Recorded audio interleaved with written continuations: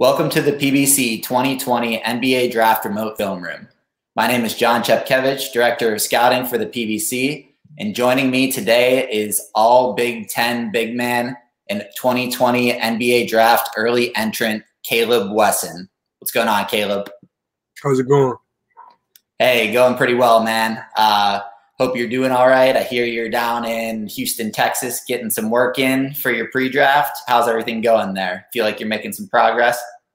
Yeah, it's good. You know, a lot of stuff we're working on mobility and stuff, just making sure I'm available, injury prevention, stuff like that. And, you know, just a lot of good work. You know, Houston's really open right now. So, yeah, no, that's good, man. I'm glad to hear that you're able to make some good use of this time and put in some work in spite of all the kind of craziness that's surrounding this pre-draft process here. And uh, so that's really good to hear. Unfortunately, you won't really get the opportunity, it looks like, to really travel to teams' facilities and get that sort of intimate environment in front of front office decision makers where you could kind of show your skills and really, uh, you know, prop yourself up against some of the high rated bigs in this class and show what you're made of. But you know, while that may not be the case, wanted to kind of take this opportunity now to do something a little bit different and dig into your game film and just talk through how you see the game, how you read the game, some of the strengths that you bring to the table that will translate really cleanly to the NBA, maybe a couple minor areas for improvement. Does that sound good? Yes, sir. Appreciate it. Thank you for the opportunity. Of course, man. All right, let's get into it. So, we're going to start with your strengths on the offensive side of the ball. And you know, what really stuck out to me is your ability to facilitate offense for the rest of your team. So, in the numbers, it might not stick out that you average about two assists per game, but you have really good vision working from the elbows and keeping your head up and kind of drawing guys in toward you because you're a good outside shooting threat and kind of finding these little angles for cutters and things like that. Do you want to maybe speak to this play specifically kind of what you saw here and how you helped uh, open up this angle to pass it to this cutter here. Yeah, you know, Duane, great player, you know, so they gotta they gotta respect his ability to score the ball, so they gotta chase him over those screens. And yeah, you know, what we worked in was kind of me and Duane just rescreening.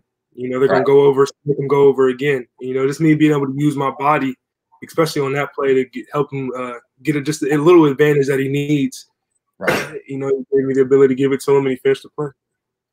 Yeah, I mean, and I think that's particularly interesting and unique because, like, you're setting a screen with the ball in your hands here, right? Like, you're, you're, it's kind of like a little bit of a DHO action, but you don't actually hand it off and just kind of, you know, spread yourself wide, use your body to create that separation for him. And you don't see a lot of guys that are able to do that and then have the vision afterwards to make such a good pass. So you know, this was a particularly interesting play, I thought. And then as we get through to these next clips, we'll see a few more kind of similar to them with your passing vision.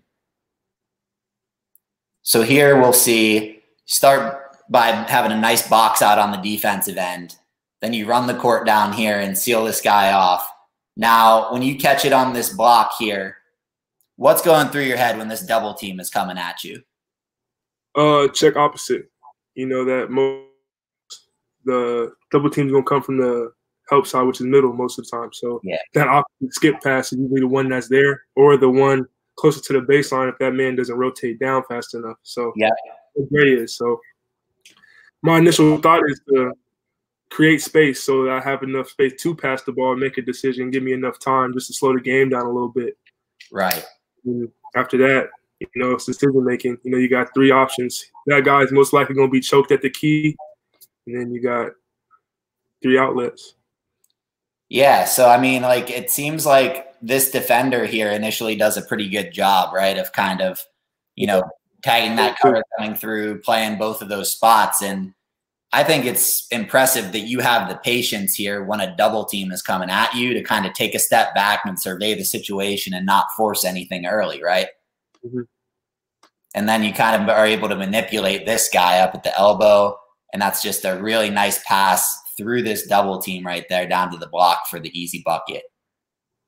Is that something that you've always sort of had a good feel for, even dating back to your high school days and kind of being a facilitator for others and using your gravity is such like a good shooter as a big and as a post threat to be able to draw help and then find other guys? Yeah, I feel like that's something I take pride in. You know, being able to find my teammates when they're open with the times that the defense is paying so much attention to me.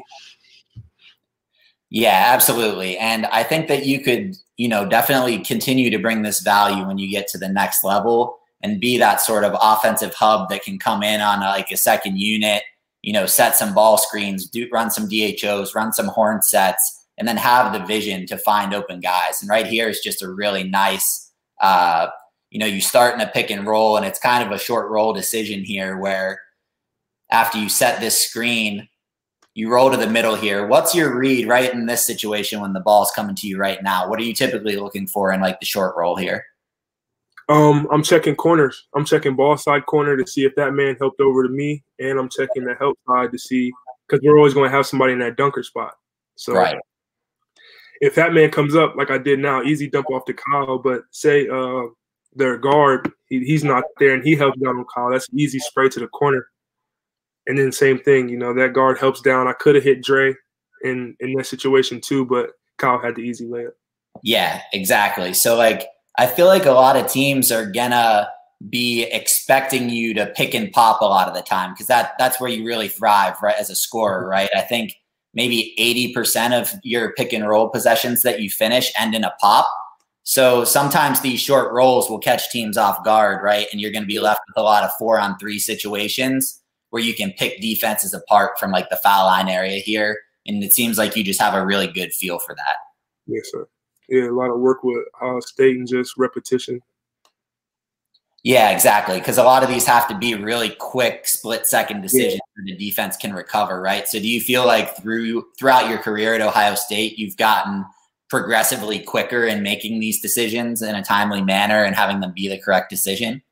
Yeah, yes, sir. Like like every like all the old heads say, you know, the game slows down as you as you keep playing. So yeah. just going through the reps with Ohio State and then breaking down that film and them showing me Coach Holt and Coach uh, Pedon, just showing me that the spots on the floor that are going to be open, you know, that really helped me.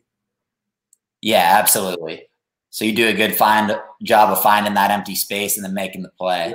Now here, I think we're going to get into your uh, actual pick and pop prowess, right? Because this is what opens up a lot of things for you. Is like I said, like 80% of your pick and roll possessions and you end up popping. And you were a 42, 43% three point shooter this year on over 100 attempts, which, you know, that's a pretty significant amount of volume for a big. So, you know, with you being such a big guy, uh, how did you become so comfortable as a shooter and, you know, become such a viable pick and pop threat? Because I'm sure when you're really young and you're such a big kid, you know, a lot of your youth coaches are probably tempted to toss you down on the block and tell you not to work on that stuff out on the perimeter, right? How did you become like so comfortable as a shooter? Um, it started just while I was younger, mid-range shots. You know, I was effective at a mid-range shooter, and I thought that that was good enough. But as you know, you gotta as the game gets better, as the players you're playing against get better, you gotta expand your game a little bit. And so going into Ohio State, I was an okay point shooter. I mean, I, I could hit it. You'd have to guard me out there, but yeah. um, just the confidence the coaches gave me actually really helped, telling me that they wanted me to shoot more shots like that because they saw what they saw I had potential of shooting at a high level. So just them telling me, giving me the green light to be able to shoot through the game, you know, that really helped me, and that's what I worked on all through the, throughout the summer. Yeah, and you can definitely tell that it paid off and tell that you keep getting more and more comfortable. You see your shot mix year to year keep kind of like gravitating toward more three pointers, less two pointers. And like that's a modern style of play, right? Every team wants a big who can stick it from deep and can kind of force the other team's rim protector away from the rim. Because your ability to like draw people out here is going to open up a lot of angles for the rest of your team as well, right? Mm-hmm. Yes, sir. So definitely love to see that. So you can make those plays as a passer, but also stretch the defense out like this. And I think we've got maybe one more offensive clip here as well, which comes back to your playmaking again. You want to maybe talk me through what you're thinking right here as uh, your guys dribbling around the perimeter. It seems like pretty early on you have it in your mind to seal this guy off, right? So what, what's going through your mind and what's kind of the play and read here? Uh, most guys try to front me to prevent me from getting the ball. So yeah. just being able to hold my ground at a high spot to where my guard has the ability to throw it over and not worry about that help defense. That's going to come from the baseline. So I'm anticipating that help defense coming most right. of the time. And if it doesn't come, it's an easy layup, but they end up coming. And I mean, they can only come from one spot if we're going to have a guy in the slot. It got to come from the corner. Yeah. And so mostly where my eyes go is opposite. Again, once the double team comes and found a win for easy shot in the corner. Yeah. So when you see this guy, like you said, you're anticipating it coming from here. When you see him kind of fly by you and miss that deflection, are you kind of immediately thinking like zip it right to the opposite corner? That's what's going to be there because you know that's where he's yeah. coming from. Yeah, that's the or the rim. You know, first look is the rim. But yeah. since I got position, but I see that somebody else is helping off EJ, and right. he's down, so I have to go corner.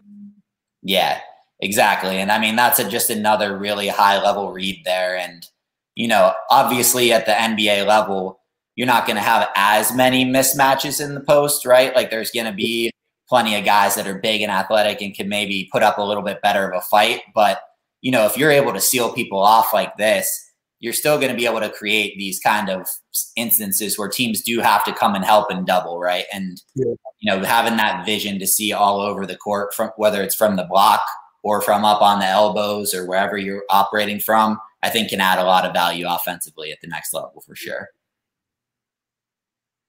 So now we're going to move to a potential improvement area on the offensive end. And I think this is going to be finishing at the rim and getting just a little bit more explosive in your sort of gathers and attacking the rim, right? Um, if you look at your percentages the past couple years from two point range, you see it kind of go down year over year. You were shooting 56 per, uh, I'm sorry, 58% from two, then 55%. And now this year, like 46%.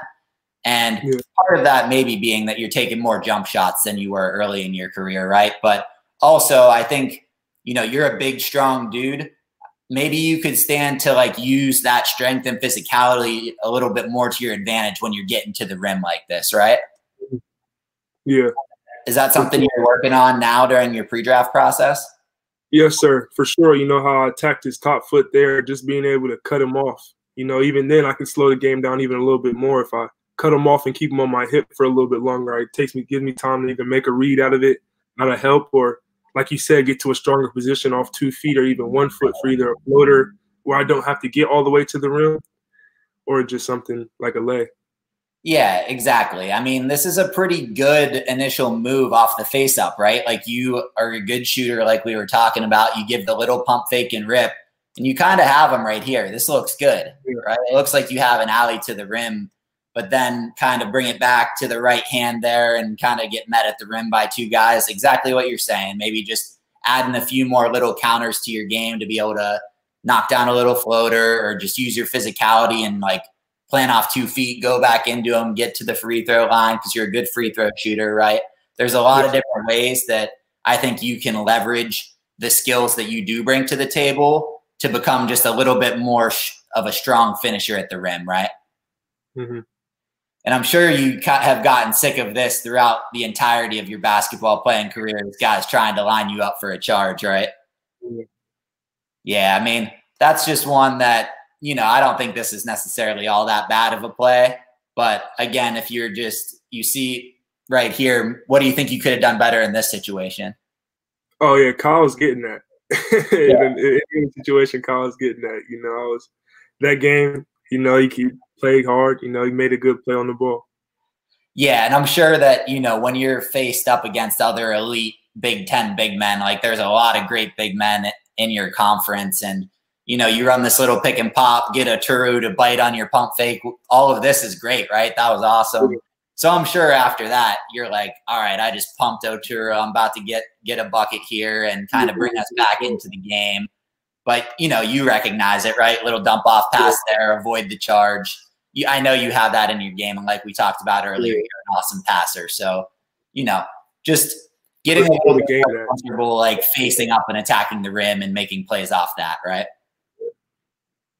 I think this might just be one more instance of this as well, where you drive left. I see you kind of try to get into his body a little bit and do a floater like we were trying to, to talk mm-hmm. about last time. So not a bad attempt, but just getting more reps with that and getting more comfortable, right? even more balance. You know, going off one foot, maybe getting to his body more, go off two foot, give me ability to make a read or even shoot it even more. Yeah, exactly. So that's just something very minor offensively that if you just keep repping that out and keep working on, feel pretty confident that you'll be able to make some growth there. And that's not, you know, not going to be like a weakness in the pros, but just another way for you to add even more value and keep opening things up for you offensively.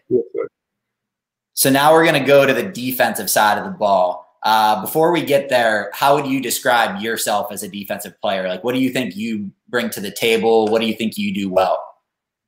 Uh, I feel like I'm an underrated defender. Actually, I feel like I affect the game on a defensive end more than people thinks. Um, I feel like I'm a good help defender. You know, I'm a, a, team defense defender. You know, I feel like I play great team defense, and I, the system I always follow the system. Yeah, no, I definitely agree. You're a pretty smart off-ball help defender, making those reads down on the baseline, and I think you're a pretty impactful rim protector in that role. Right, you do a really good job, whether you're blocking the shot or not, of kind of deterring guys as they get to the rim. Yeah. And what we're going to see here is we're going to focus on some of that. So this time you're on ball, maintain really good verticality here. I think this was Xavier Tillman. You want to maybe speak to when someone gets you kind of, uh, you know, ISOed out on the wing here and tries to drive on you.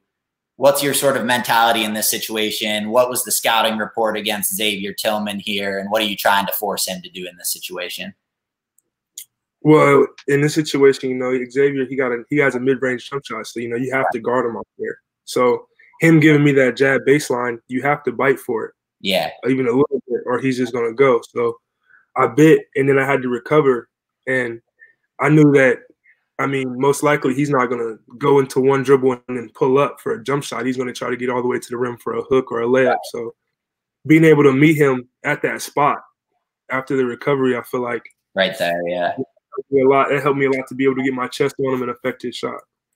Yeah, absolutely. And like he's a big, strong dude too, right? But like you have the strength advantage over even him, it seems like in this situation. You take that physicality, stay straight up so you make sure you're not fouling him and getting him to the line, and then are able to still impact this. And that's that's a tough shot, right? You you live with that one. If you can force guys into these tough um, you know, opposite hand hook shots where they're a little bit off balance. I think you live with that every time. And I think this is just great defense in this particular instance and knowing personnel, right? So we'll move on to the next play after you pull down this rebound. You're matched up against Minnesota again. And I think what we're touching on here is that you do a really good job in drop coverage against pick and roll. So they set this, you drop here, What's your kind of uh, what's your kind of read here? Are you just kind of hanging out there at the elbow, trying to cut him off till your guard can recover and then bouncing back? Yeah, but I also have to make sure that um, Oturu doesn't get lower than me.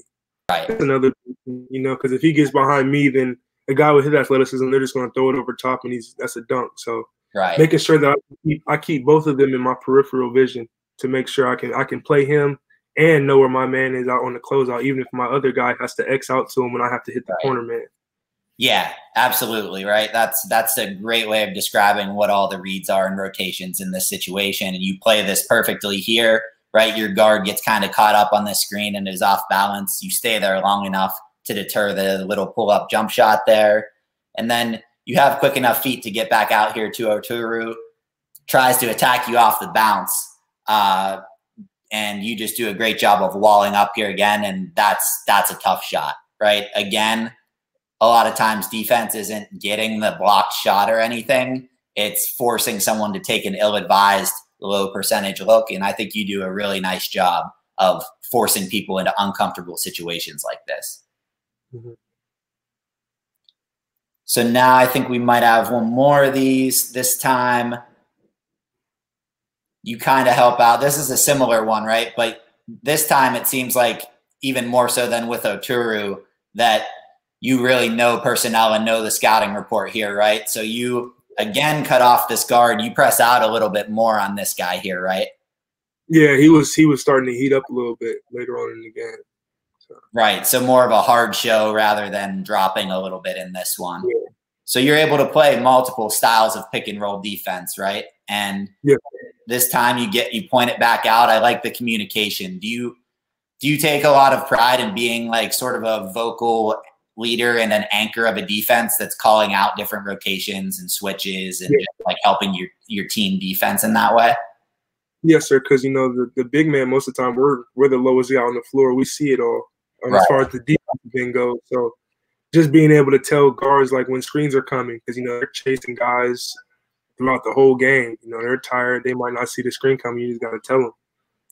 Yeah, for sure. The communication aspect is huge. And then here, I mean, look how far you drop into the paint on this one. So this must be a scouting report thing. I would imagine he's, you know, he's not shooting that, right? Yeah. So good job again of knowing personnel because I'm sure sometimes when you hard show out onto a guard like that, you know, your first instinct might be to scramble as fast as you can back to your guy, but you maintain your principles here and get into the elbow and know you know, that's the smart place for you to be on defense, right? Yeah. And then when you're matched up against a non-shooter like this and know they want to drive, you know, sometimes it can be tough when certain players, if you give them that much space, they can kind yeah. of up some momentum and that can actually help them on their drives. What what do you do to combat that? You just have to find the right the right length, right distance, you know, between your man and the basket and where you, I mean, if he's right handed or he's left handed, you got to know, I mean, which way he wants to drive, and if he can finish with his left and his right. So that also helps out which way you're going to force him. Yeah, absolutely. So here you kind of know that he's going to ultimately defer to go to his right. Yeah.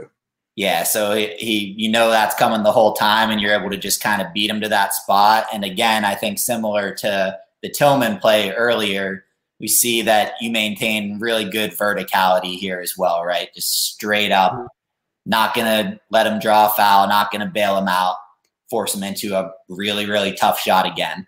So I think that's what stands out the most to me about you on defense is that you're a smart player and you have a good sense of like pushing guys to areas on the court or situations that they're not really accustomed to making plays at or making their looks more difficult than they want them to be. So this time's a little bit longer of a possession, which I think early on you're matched up against someone else and then end up switching on to TJD here, right? Or if yeah. Uh, you want to maybe talk me through kind of what's going on from the top of this possession and what you're sort of reading and reacting to here. Yeah, so I have to drop because uh, they're big road, and then their four goes into the ball screen and pops. Yeah. So my four, has to, he has to hedge that because on the sides we hedge, so we force yep. him to the half court. I have to. I'm the lowest guy, so I have to X out, and I have to depend on my bottom guy to get my man. Yeah. And then him, like another said, scouting report. You know, he like he wants to go to his left hand and finish at the rim with his left. So yeah. making sure he's not doing that or not giving him enough space to where he can wiggle around and get back to his right for an easy layup. You know. Yeah, I mean this is this is just awesome, right? Like exactly what you said. You made the right rotation, trusting your teammates and communicating, right? Like you're helping here. You see this come around, and then knowing your scheme here I, well, I think maybe something that goes underrated to even start this right here is that you fight over top of this guy. He's trying to seal you off to start right here. You're able to like swim your way around and get in front of him for even just a second, and then have the wherewithal to rotate afterwards. And he is super heavy left-handed. Like he's a really good player, but loves going to his left, exactly like you said. So again, knowing personnel, you force him back to his right. He's uncomfortable. He travels and you're strong enough to keep them in front of you.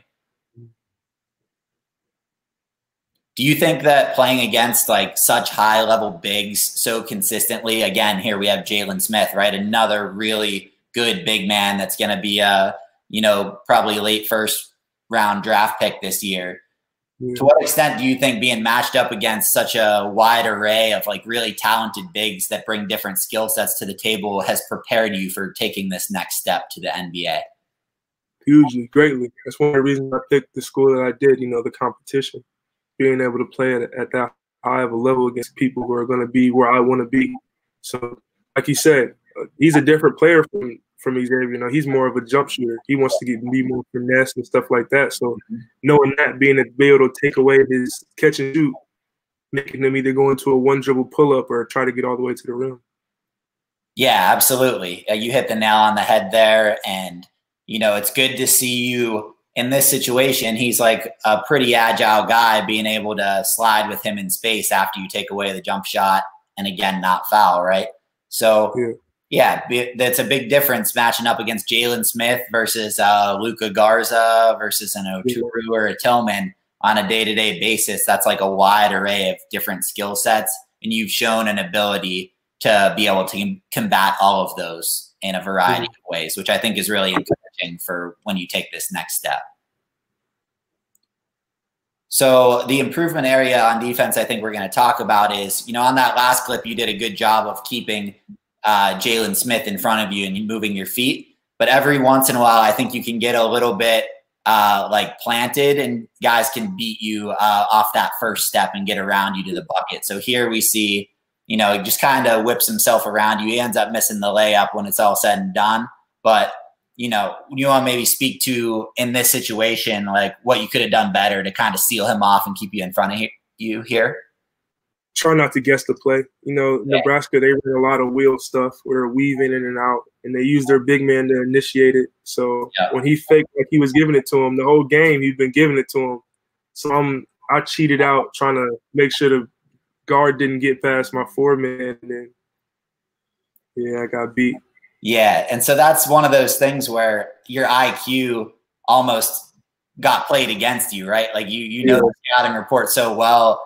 I remember, uh, you know, back when I used to play, running an ATO just like this. After we would run a bunch of these, uh, you know, DHO and so you can sometimes combat it with something like this. So you know, just one of those things that like, you know, you know the scouting report, you know what went wrong there. So not really a big deal, just trying to over anticipate, right? Yeah. This time we're going to show you getting matched up against the guard on the perimeter. Uh, one thing that's going to, you know, ultimately end up happening sometimes when you're in the NBA is it's a really switch heavy league. Uh, yeah. You're going to every once in a while be caught on an island against these smaller guards have you been working on kind of like opening up your hips and quickening up your feet so that in those you know instances where you do have to guard a quick twitchy guy out, on the perimeter that you're able to stay in front of him a little bit better? Yeah that's a lot of stuff we work on with my strength and conditioning coach now. You know just like i said the mobility aspect of a lot of body weight stuff getting quicker being able to move my my body efficiently yeah, and like you're you have decent feet, right? Like you're you're pretty nimble. Like you on the offensive end, you have a lot of craft. Like I think you have decent feet. It's just just getting more comfortable using them on the defensive end out on the perimeter like this and just beating guys to their spots, right? Yeah. yeah, I just Yeah, go ahead. Another another one of the things that kind of got me here personnel wise, you know, they said he wants to shoot uh, shots late in the shot clock. He want to shoot pull ups. Yeah.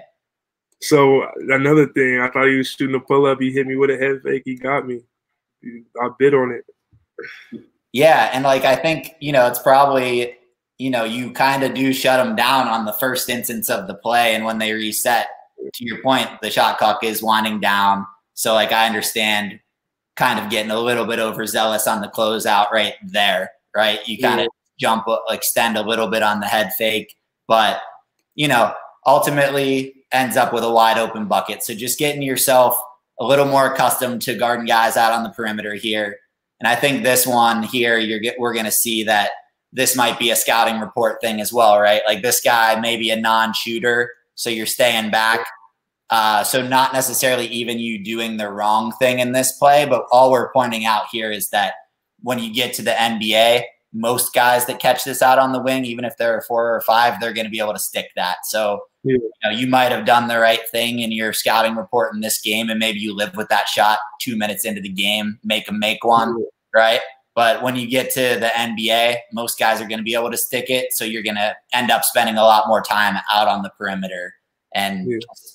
you know, getting more comfortable with that, I think could go a long way and kind of cementing your value on the defensive end in addition to the things that we know you do so well as like an off-ball guy protecting the rim. Mm-hmm. Yes, sir. So that's all I've got uh, on the film end there. Really uh, enjoyed hearing your perspective on how you see the game and you know, your IQ is very evident, you know, both in just watching the film and digging into it on my own. And it's even more exemplified by hearing you actually talk through it right here in this capacity. So definitely appreciate your perspective on all that. And I'm sure that, you know, as you're interviewing with NBA teams, that's going to come off to them as well, that you really know the game, you're a student of the game, and you really like understand, you know, the inner workings of schemes on both offense and on defense.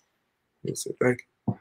So before we wrap up here, um, you know, like we were talking about, you're not really going to get the chance to like be in person with teams throughout this pre-draft process. But I just wanted to give you the platform right now to address all those teams out there that may be considering drafting you. So, who is Kaleb Wesson? And if a team was to bring you into their organization, what can they expect from you both on and off the court? On the court and off the court, they're going to expect a hard worker. You know, somebody who's going to come in there every day and give their all. You know, a guy who can has the ball skills in the DHOs, you know, has the ball skills to initiate offense, you know, high level shooter, uh, high level passer, you know, just somebody who's a smart defender. You know, a lot of guys, you know, don't have the IQ, and I feel like I take a lot of pride in my IQ. Just know, like you said, knowing the game and being able to game.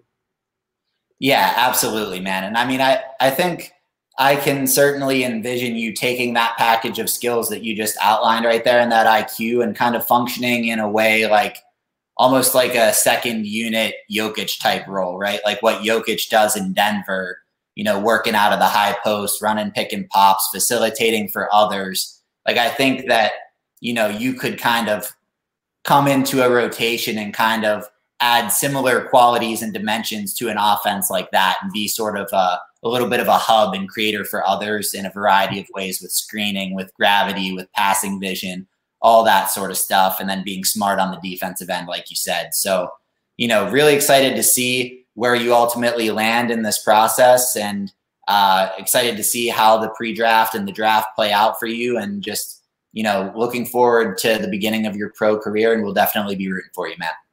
Yes, I appreciate you. Thank you. All right. Best of luck. Stay safe, man. Yeah, yeah you too.